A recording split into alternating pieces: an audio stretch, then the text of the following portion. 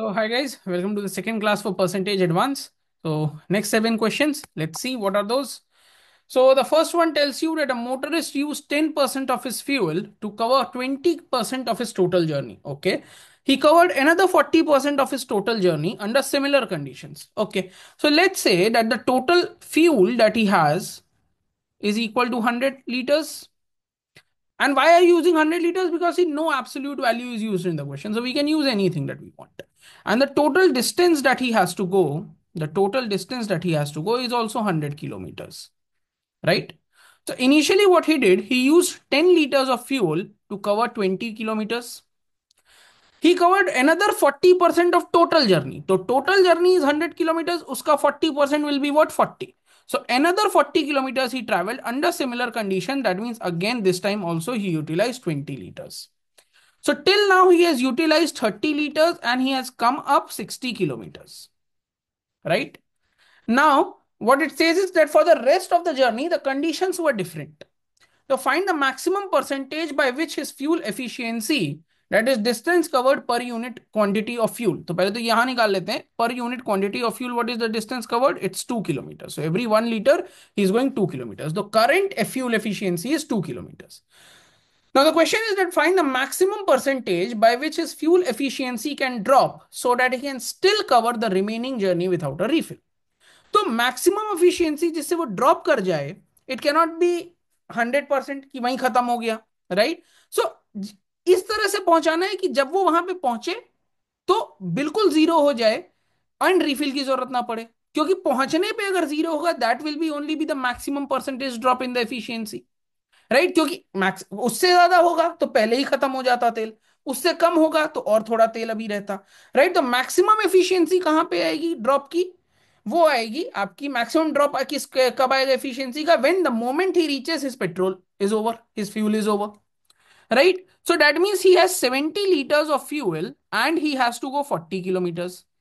So for this part the fuel efficiency is going to be 4 by 7 kilometers per liter. Initially it was 2 kilometers per liter. Right? So what is the drop? How do you calculate percentage decrease? Percentage decrease is calculated by final value by original value.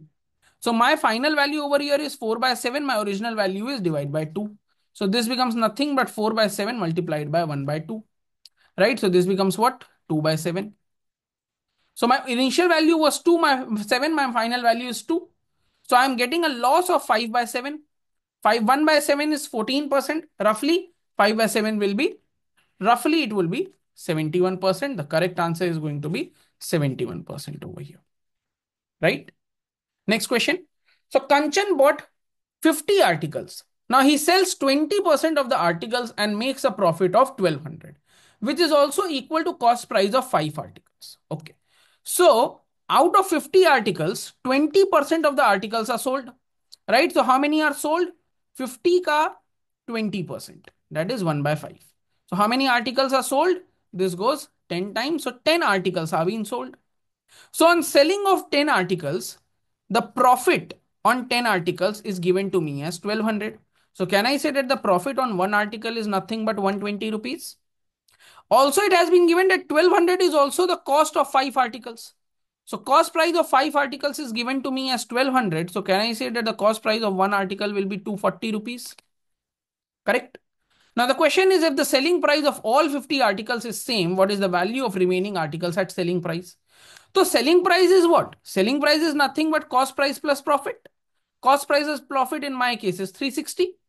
And how many articles are remaining? 40 articles are remaining. So the total value is going to be what? It is going to be 14400. That is 14,400 is going to be my correct answer. So this is the total value of all the articles uh, at the selling price after selling 20% of the articles. Correct? Let's move on to the next. This question tells you that Ajay sold the article at 20% to Balu. Balu sold it at 30% to Chetan. Dinesh sold a similar article at 20% loss to David. David sold it at 30% loss to Edward. Right? The sum of prices that hmm. Chetan and Edward paid for their respective article is 28,000 more than what Ajay paid. If Ajay and Dinesh bought the article for the same price. So this is the good part. This is the good part that Ajay and Dinesh bought the article for same price. So let's say the price for Ajay is 100x and price for Dinesh is 100x. Now Ajay sold it at 20% profit to Balu.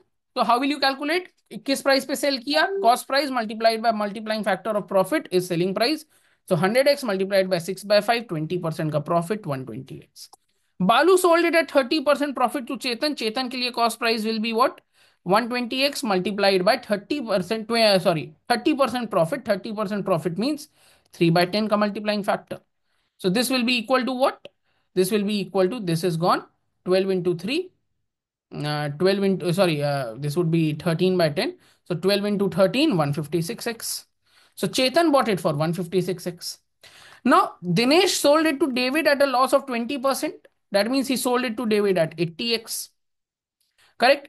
David sold it to edward for 30% loss. That means edward ke liye the cost price is going to be 80x multiplied by multiplying factor of 30% loss.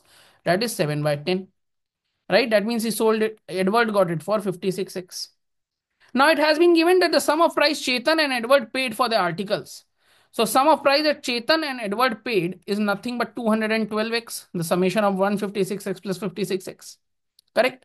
Is 28,000 more than what Ajay paid. So if I remove Ajay ka price from here, the difference that I am getting is 28,000.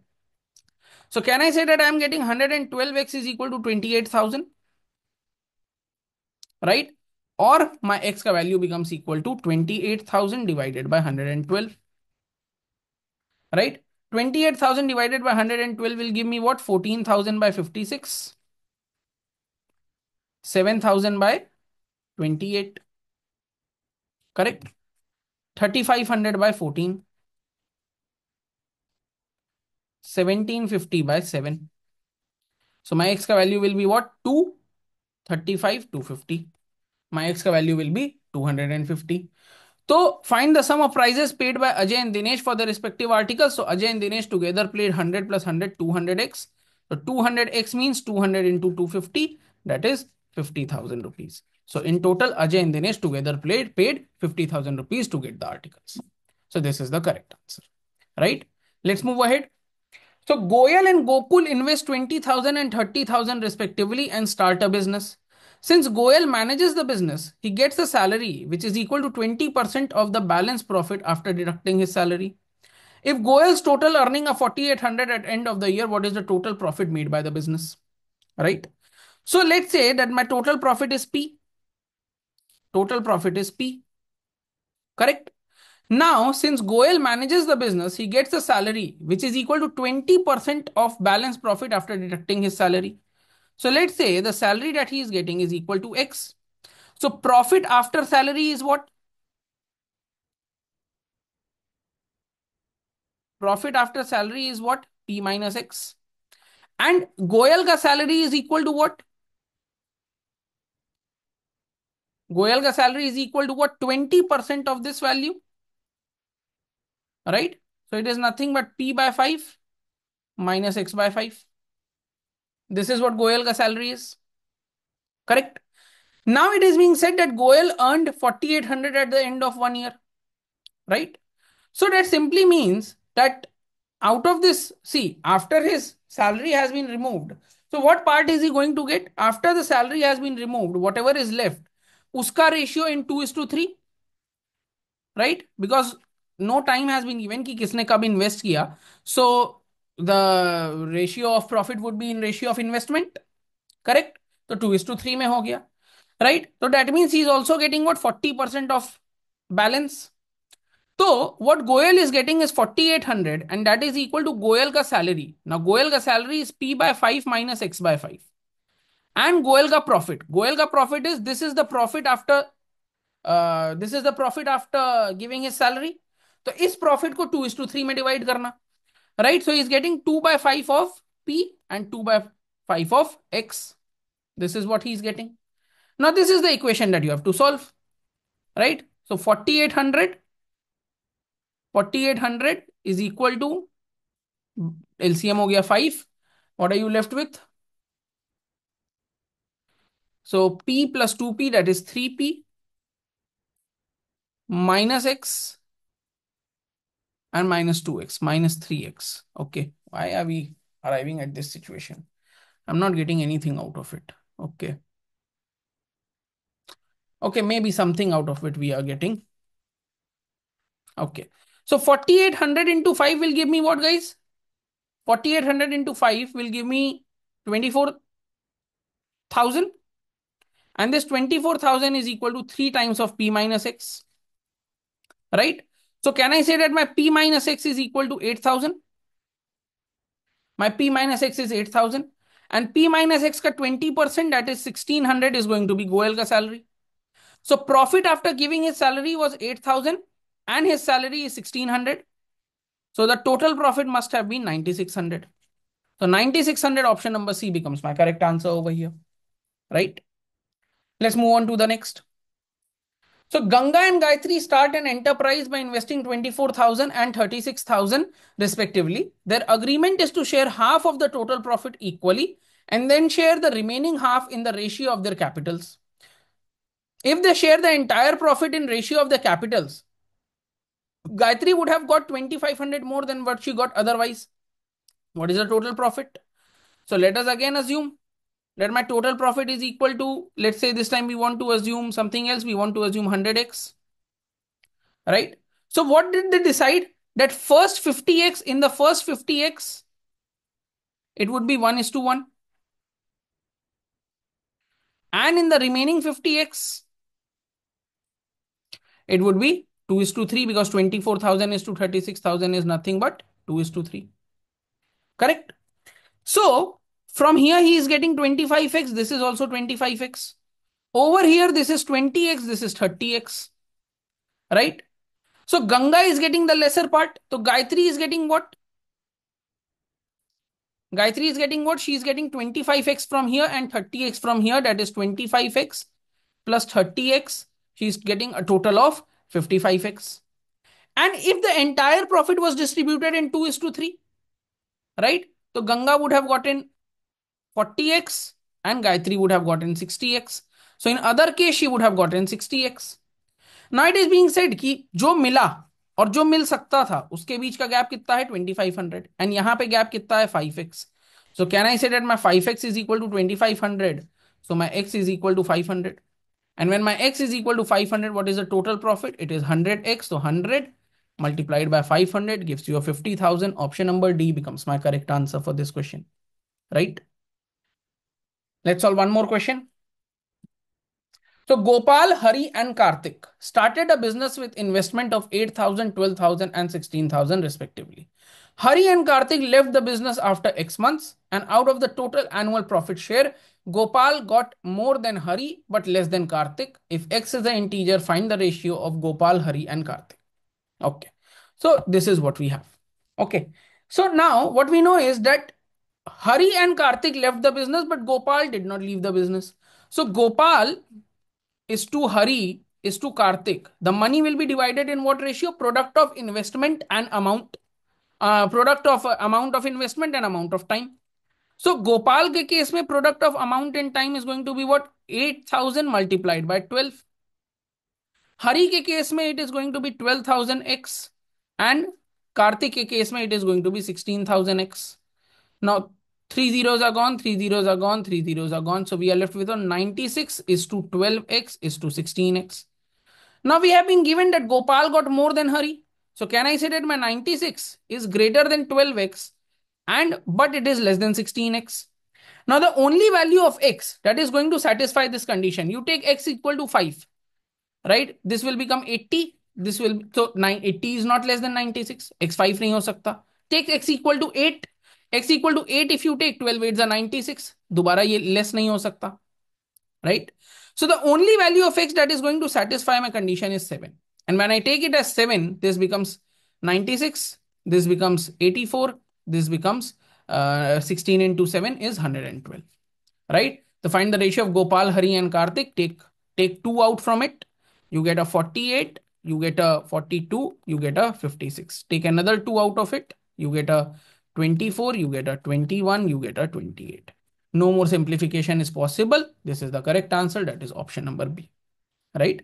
Let's solve one more last question in this video. So in an election between two candidates, P and Q, only 90% of the registered voter cast their votes. So let's say registered voters are 100x. registered voters are 100x. Now, out of them, how many cast their vote? 90%, that is 90x. Correct? Now, only 90% of the polled votes were valid. So, if 90% are valid, that means how many votes are valid? 90x into 9 by 10, that is 81x. So, these are the valid votes. Now, P got 65% of the valid votes. So, 65%, see, 5% is what? 1 by 20. 65% will be what? 65% multiplying factor. 13 by 20. So out of 81x votes, this guy got 13 by 20 votes. Right? That means the other guy would have gotten 81x multiplied by 7 by 20, the remaining votes. Right? The remaining votes he must have gotten. And the difference between the two has been given as 9720. Correct? So this has been given. So what do you get from here is that uh, 81 into 13. Okay. So 81 into 13, 3 ones are 3. Right. 3 ones are 3. 3 eights are 24, 1 ones are 1, 25. Uh, uh, 3 eights are 24, 1 ones are 1, 25, carry over 2. And 1 eights are 8, 2, 10. 1053x minus 81 into 7. So 7, 56. X is equal to 9720 into 20. So what do we get from here? 1053 minus 567. So how much will this be? 453, 486. 486 x is equal to 9720 multiplied by 20. Correct? So 486 is equal to 9720 multiplied by 20. Now let's see what we can cancel off. Okay. Uh, all right. Let's use calculator now. Okay. Let's use a calculator. So this is 9720 multiplied by 20 divided by 486. My x ka value turns out to be equal to 400. You can do the calculation mentally uh, on, on paper as well. Okay. So this is 400. So how many registered votes were there? 400 into 100x, that is 4,000, 40,000. So 40,000 becomes your correct answer for this question. So I hope I've made all the seven questions clear. If any doubts, you can comment in the uh, comment section. Right. I'll be replying to that.